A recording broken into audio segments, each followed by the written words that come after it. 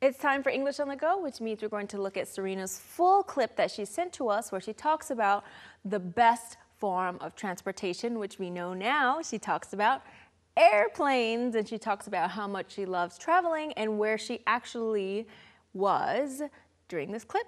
How about we take a look at it? Just one egg. Are you ready? Go! I have traveled quite a lot since I started to um, study abroad. And lately I've come to appreciate more and more not only my destinations, but also my favorite form of transportation airplanes. My last weekend I have spent in Kiev for a big international sports event. Thousands of people from all around the world have traveled there in a matter of just a few hours. This would have been unimaginable in another era. I think logistically seen, it's quite an impressive work people in the aircraft business do to bring those masses of people safely from point A to point B. I think air, airplanes and aircrafts are the number one in opening new horizons, both literally because of the high altitudes and symbolically because of the broad variety of cultures you get to experience. 네, 이야기 잘 들어보셨죠? 핵심 단어들부터 보고 공부 이어갈게요. 첫 번째, 감사하게 생각하다, appreciate 나왔고요. 상상조차 할 수 없는 unimaginable, 그리고 실행면에서라는 logistically라는 말이 나왔어요. 발음 연습부터 하겠습니다. Let's practice our pronunciation, starting with the first one, which is appreciate. Appreciate. Appreciate. Unimaginable. Unimaginable. Unimaginable. Logistically. Logistically. Logistically. Perfect. How about we take a look at some more vocabulary words? 그 다음으로는 지평선, 땅이라면 지평선, 물이라면 수평선이라고 하잖아요. 영어는 horizon이라고 합니다. horizon. 그리고 고도, altitude. 마지막으로 상징적으로 symbolically라고 하는 단어들 쓰였습니다. 발음 연습해보죠. Horizon. Horizon. Horizon. Altitude. Altitude. Altitude. Symbolically. Symbolically. Symbolically. Perfect. We've gone over the vocabulary words, so let's take a look at Serena's clip once again, but with English subtitles. I have traveled quite a lot since I started to um, study abroad. And lately I've come to appreciate more and more not only my destinations, but also my favorite form of transportation airplanes. My last weekend I have spent in Kiev for a big international sports event. Thousands of people from all around the world have traveled there in a matter of just a few hours. This would have been unimaginable in another era. I think logistically seen, it's quite an impressive work people in the aircraft business do to bring those masses of people safely from point A to point B. I think air, airplanes and aircrafts are the number one in opening new horizons, both literally because of the high altitudes and symbolically because of the broad variety of cultures you get to experience.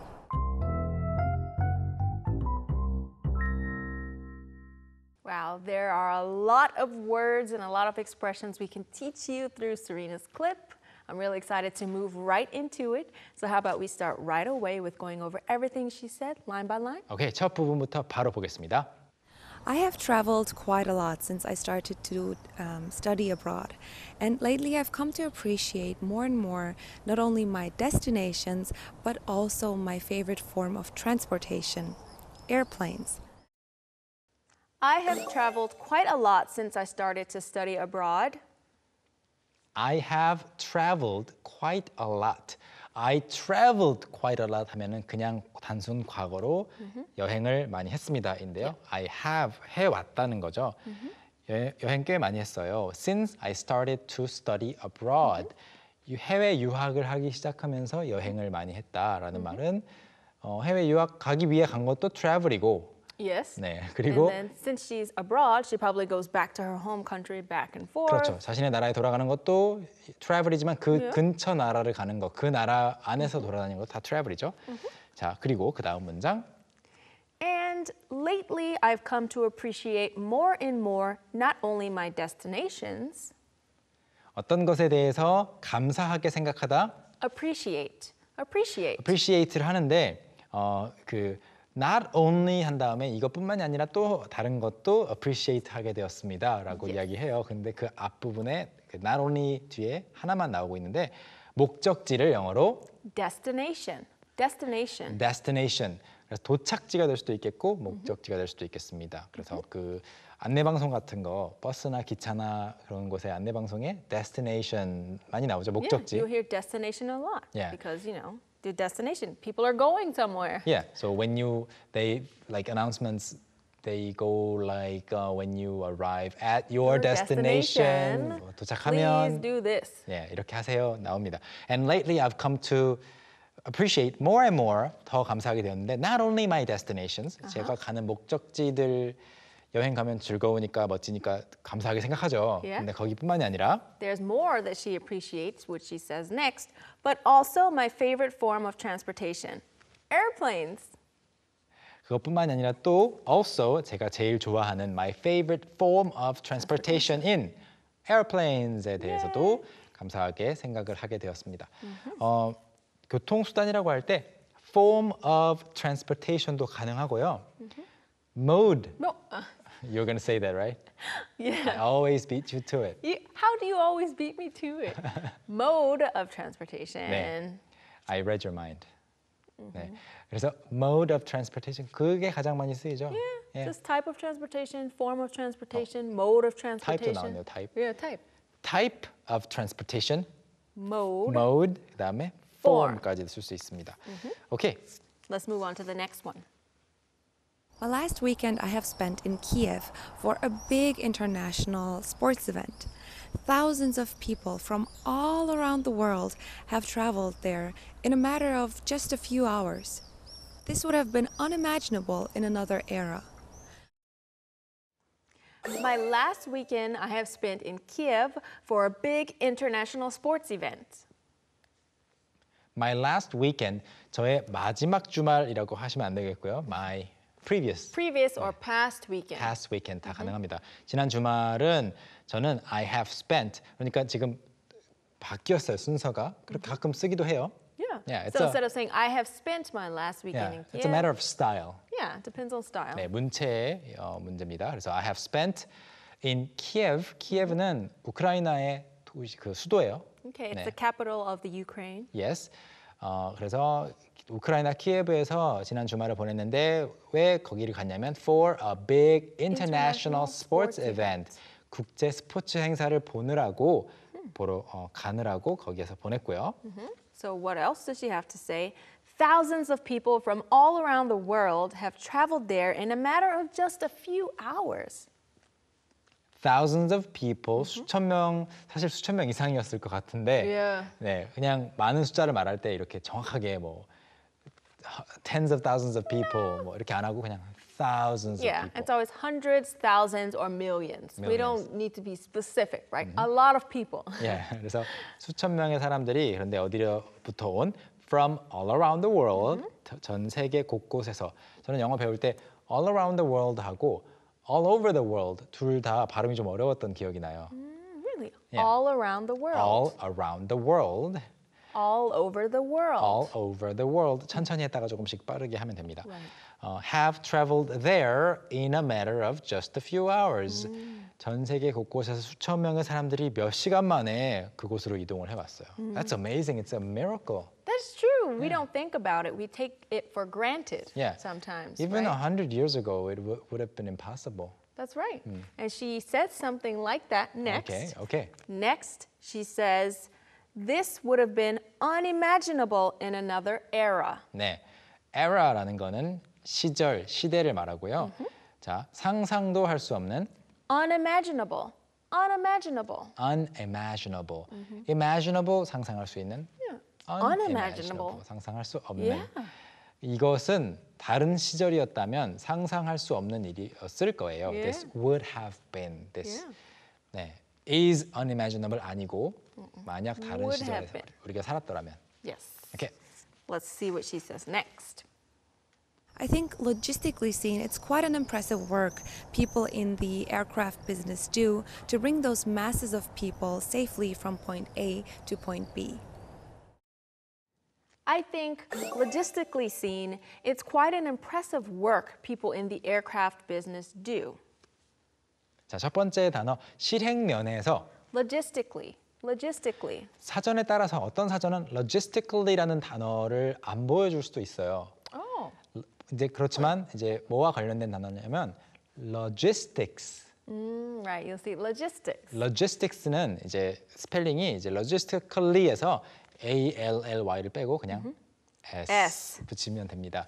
실행 방법을 뜻해요. 어, 다 좋은 계획을 세워놓고 logistics를 논의해 보자 이렇게 말하면 그래서 이걸 실제로 어떻게 행동에 옮길 것인지 Yeah, it's like so we have this idea, but what about the logistics? Yes. How are we going to do it? Do 맞아요. we need that? Do we do this? 그렇죠. Right. 아니면 메간 선생님이 미국 여행을 하러 간 사이에 제가 Okay. 미국을 또 갔어요. 그래서 Okay. 우리 가족들끼리 만나서 뭐 중간에 만날까?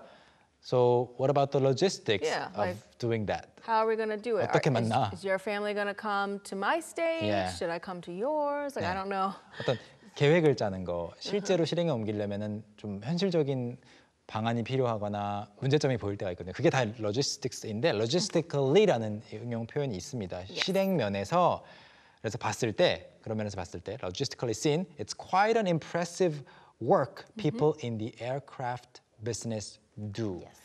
항공기 Aircraft, aircraft. 네.